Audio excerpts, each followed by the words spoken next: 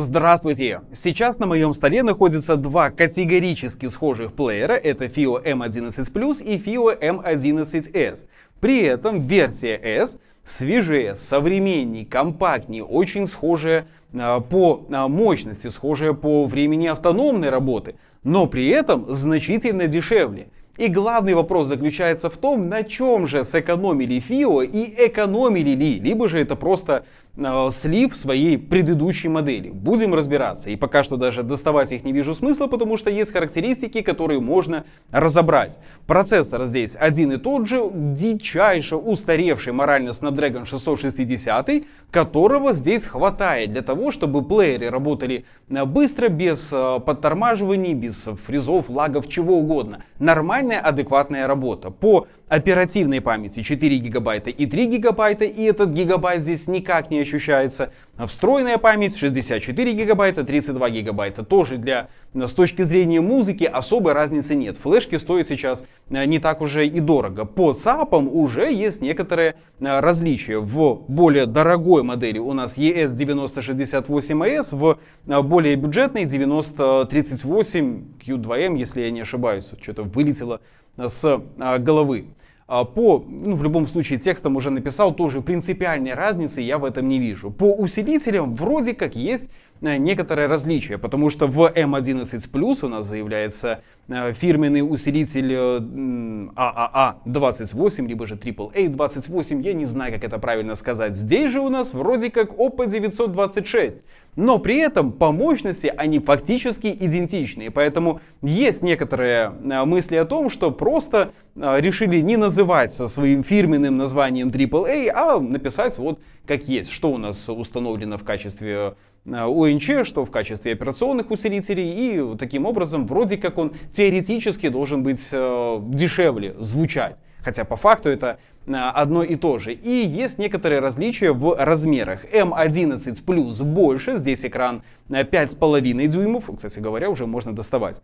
5,5 э, дюймов с разрешением HD. В случае с M11s это 5-дюймовый экран и также HD разрешение, но при этом немножечко поменьше. То есть плотность пикселей у них все равно остается приблизительно одинаковая. По размерам вроде как и есть такие различия в, в самих габаритах, но по факту они не особо-то и ощущаются. То есть, когда э, два плеера просто лежали на столе, я не сразу же понимал, э, кто из них плюс, а кто из них э, S. Ну, естественно, когда у них э, сняты э, чехлы.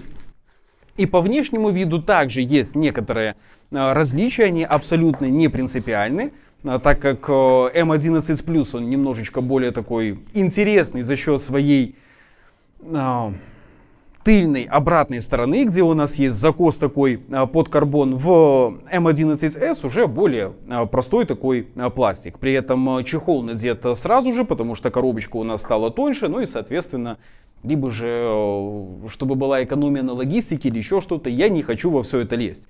И при этом по своей эргономике они ощущаются крайне и крайне схожи. То есть нет такого э, чувства, что о, вот M11CS, он прям такой компактненький, а M11 Plus это нереальный жердяй, огромный, с которым невозможно э, ходить. Все равно очень и очень э, схожи. То есть если их разнести вот так, то, наверное, особо разницы вы и не заметите. Когда их приложим друг к другу, то понимаем, что да, по высоте здесь есть небольшие различия. По толщине фактически одинаковые. И, кстати, по характеристикам тоже аккумулятор немного различается. 6000 мАч в э, плюсе, в 5300 в S-версии. Э, тоже в принципиальной разницы в этом э, никакой нет. И остается единственный вопрос, ради которого мы здесь и собрали. Так а что по звуку? Насколько они различаются? И если вот эта пропасть у них в качестве звучания, как есть пропасть в цене. И за счет того, что S-версия, несмотря за счет э, там, другого э, ЦАПа, другой обвязки, она получилась категорически схожей. То есть, когда перетыкаешь наушники из одного плеера в другой и пытаешься выслушивать эту разницу, она не настолько и очевидна, если мы говорим э, про FIO FH7, FH7S. Ну, они были у меня сразу же под боком, поэтому почему бы и не сравнить. В любом случае, некоторая разница с этими наушниками уже была бы заметна.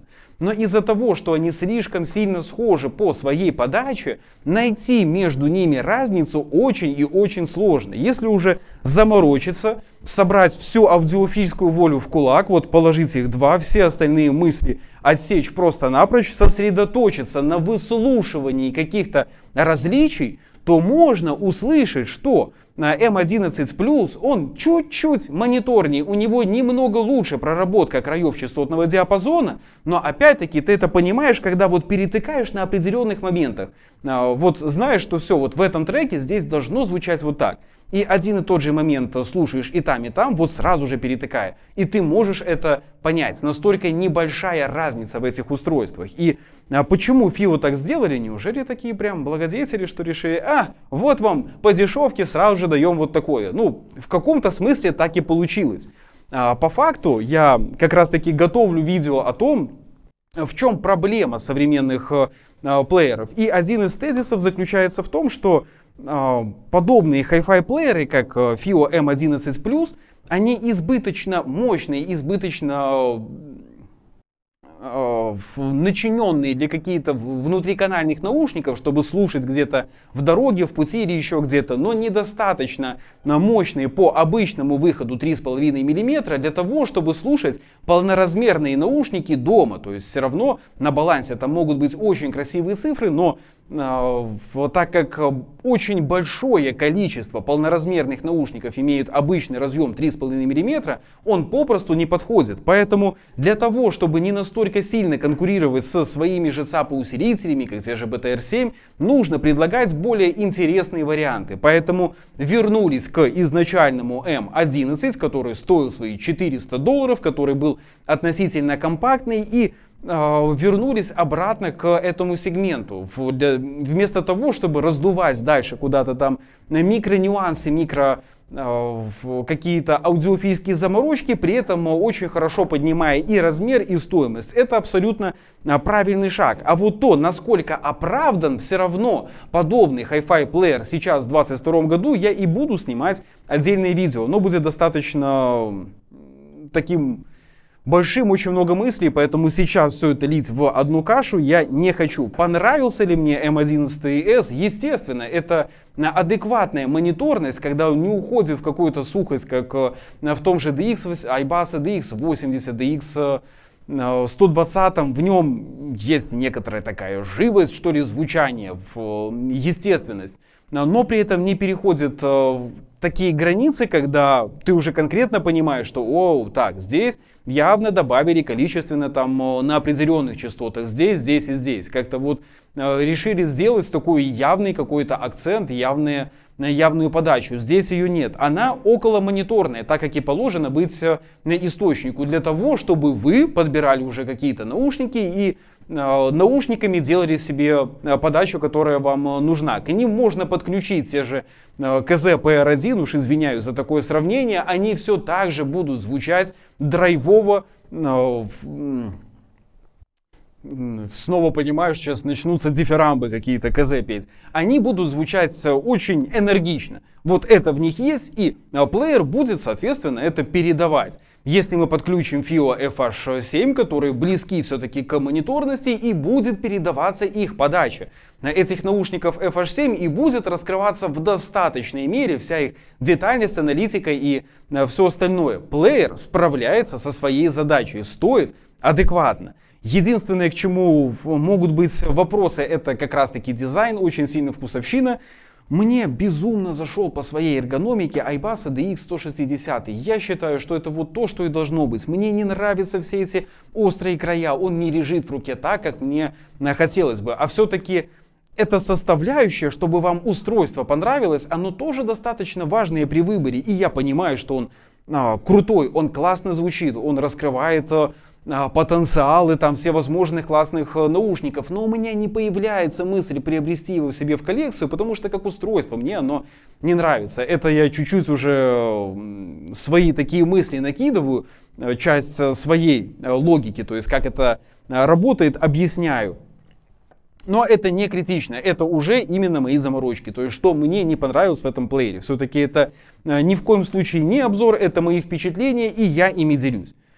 И акцентируя внимание на том, что в этом уже никакой объективности нет. Это чисто мои а, заморочки. Поэтому хороший плеер. Ну, а, нет у него каких-то явных косяков. Fio Music уже дорабатывают, все сделано а, корректно. Само меню тоже сделано красиво. Мне нравится, как происходит управление самим э, устройством, как сделали сейчас в уже более современных э, версиях, выборы режима, где ты ставишь, э, что ты хочешь, там Android, только музыка, режим ЦАПа и все остальное, нигде ничего искать не нужно. И темная тема, отдельный жирный плюс, это великолепно, это классно.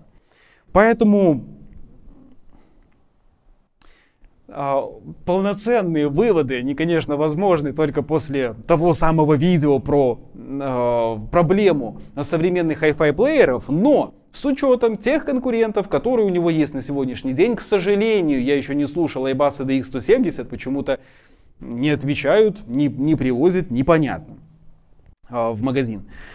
А, поэтому, если бы можно было сравнить с ним, то, возможно, уже были бы какие-то выводы более четкие. Пока что за свою стоимость хороший, прекрасный а, плеер по сравнению со своими конкурентами, не, имеющих, э, не имеющий каких-то явных а, недостатков, как проигрыватели. Поэтому это видео впечатление я буду завершать. Если вас заинтересовали эти плееры, то по ссылке в описании сможете их э, найти. И на этом пока что все. Желаю вам мира и здоровья. До скорых встреч!